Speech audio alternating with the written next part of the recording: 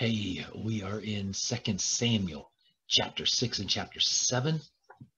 Uh, we see David wanting to bring uh, the Ark of the Covenant back to uh, Jerusalem, back to what uh, is referred to as the city of David. So let's just jump right into um, text.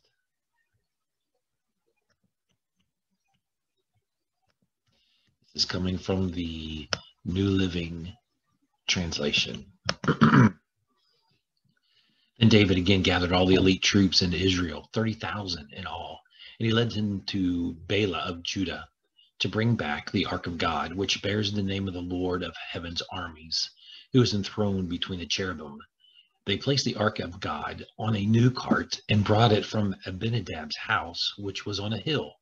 Uzzah and Ahio, Abinadab's sons, were guiding the cart that carried the Ark of God. Ahio walked in front of the ark. David and all the men of Israel were celebrating before the Lord, singing songs and playing all kinds of musical instruments, lyres, harps, tambourines, castanets, and cymbals. But when they arrived at the threshing floor of Nacon, the ox stumbled, and Uzzah reached out his hand and steadied the ark of God. Then the Lord's anger was aroused against Uzzah, and God struck him down, struck him dead because of this. So Uzzah died right there beside the ark of God. David was angry because the Lord's anger had burst out against Uzzah. He named the place Perez Uzzah, which means to burst out against Uzzah, as it is still called today. David was now afraid of the Lord, and he asked, How can I ever bring the ark of the Lord back into my care? So David decided not to move the ark of the Lord into the city of David. Instead, he took it to the house of Obed Edom of Gath. The ark of the Lord remained there in Obed Edom's house for three months, and the Lord blessed Obed Edom and his entire household. Then King David was told, The Lord has blessed Obed Edom's household and everything he has because of the ark of God. So David went there and brought the ark of God from the house of Obed Edom to the city of David with a great celebration. After the men who were carrying the ark of the Lord had gone six steps, David sacrificed a bull and a fattened calf. And David danced before the Lord with all his might, wearing a priestly garment. So David and all the people of Israel brought up the ark of the Lord with shouts of joy and blowing of the ram's horns. But as the ark of the Lord entered the city of David, Michal, the daughter of Saul, looked down from her window, and when she saw King David leaping and dancing before the Lord, she was filled with contempt for him. They brought the ark of the Lord and set it in its place inside the special tent David had prepared for it. And David sacrificed burnt offerings and peace offerings to the Lord. And when he had finished his sacrifices, David blessed the people in the name of the Lord of the heavens armies. And then he gave to every Israelite man and woman in the crowd a loaf of bread, a cake of dates, and a cake of raisins. Then all the people returned to their homes.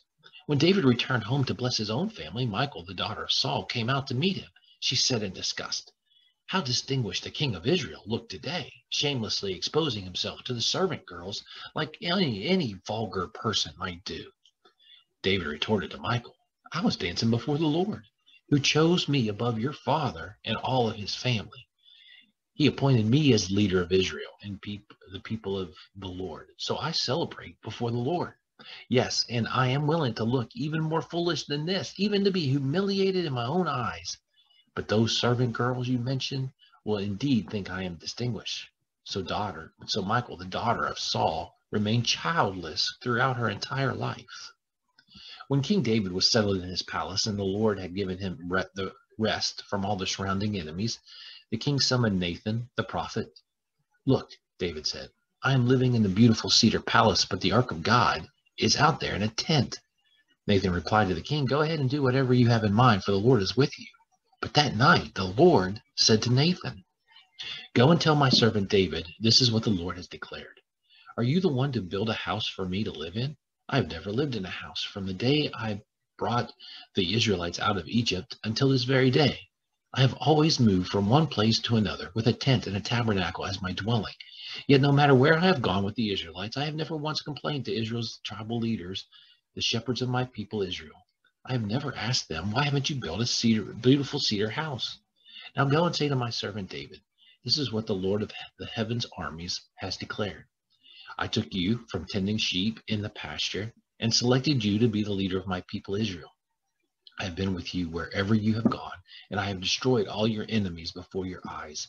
Now I will make your name as famous as anyone who has ever lived on the earth, and I will provide a homeland for my people Israel, planting them in a secure place where they will never be disturbed.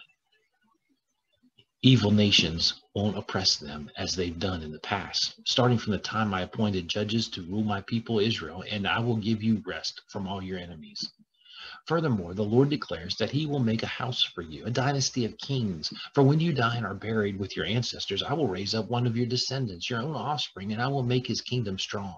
He is the one who will build a house, a temple for my name, and I will secure his royal throne forever. I will be his father, and he will be my son. And if he sins, I will correct and discipline him with the rod, like any father would do. But my favor will not be taken away from him as I took it from Saul, whom I removed from your sight. Your house and your kingdom will continue before me for all time, and your throne will be secure forever. So Nathan went back to David and told him everything the Lord had said in this vision. Then King David went in and sat before the Lord and prayed, Who am I, O sovereign Lord, and what is my family, that you have brought me this far? And now, sovereign Lord, in addition to everything else of you speak of giving your servant a lasting dynasty. Do you deal with everyone this way, O sovereign Lord? What more can I say to you? You know what your servant is really like, sovereign Lord, because of your promise and according to your will, you have done all these things and have made them known to your servant. How great you are, O sovereign Lord. There is no one like you. We have never even heard of another God like you. What other nation on earth is like your people Israel? What other nation, O God, have you redeemed from slavery to be your own people?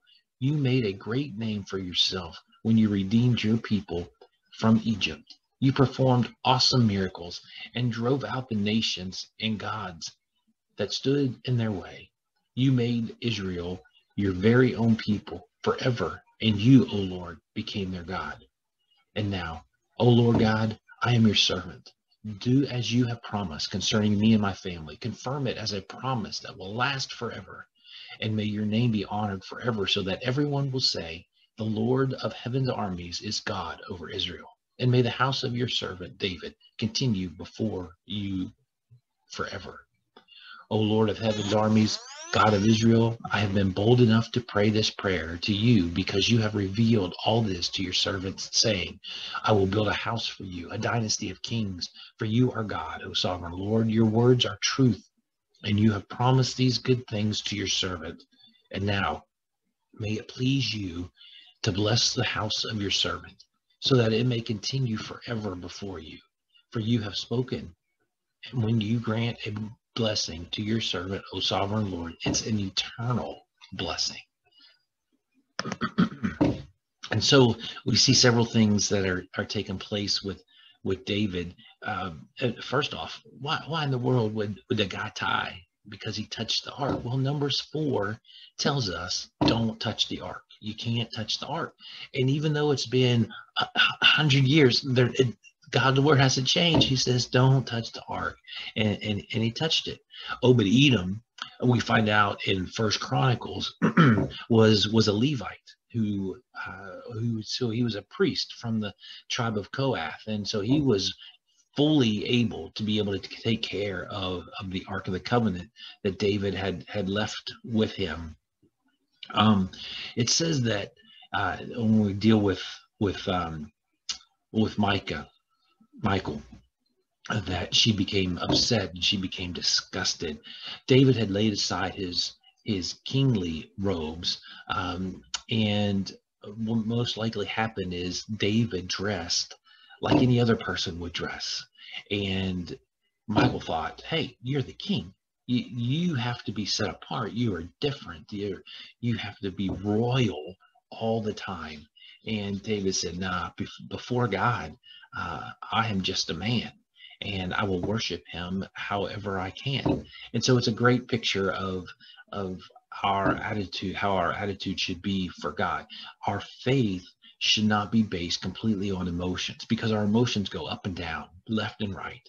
It should be based on faith and fact, uh, in history and study, and we worship God any way we feel, uh, but it can't be all based on emotion. I want to share a a picture with you um, from the well, it's a fresco. This is a fresco of David dancing with Michal, uh, being upset. You see the Ark of the Covenant. The Ark of the Covenant was wasn't very big. It was only a little over four feet by a little over two feet, so uh, it wasn't wasn't very big. Uh, but this is a fresco that's in Rome from the 1500s from Francisco Salviati. Uh, but it just shows his um, idea of what is taking place. Never be ashamed uh, to worship God uh, when your only intention is to worship God, not to bring attention to ourselves, but God and God alone. Have a great day.